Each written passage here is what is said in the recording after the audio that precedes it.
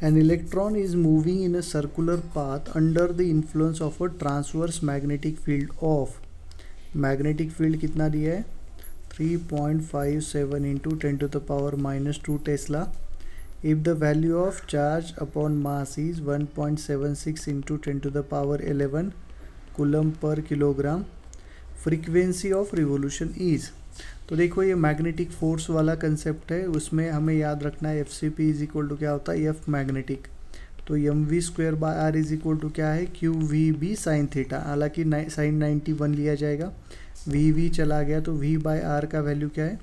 Q B divided by M V by R क्या होता है? ओमेगा तो ये आएगा क्यू बी बाय एम तो ओमेगा क्या टू पाई एफ़ मतलब एफ़ क्या आ जाएगा? Q B divided by two pi M होगा। तो क्यू कितना दिया है?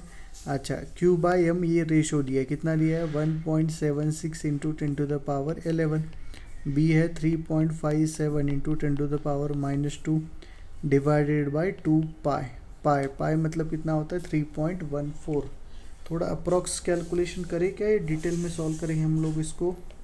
देखते हैं, ये क्या होगा?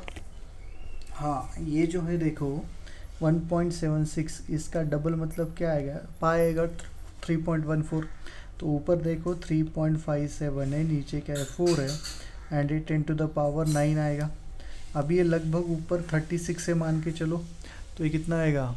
9 zero point nine into ten to the power 9 तो ये आएगा 9 into ten to the power eight मतलब 900 hundred into ten to the power six तो 900 hundred into ten to the power six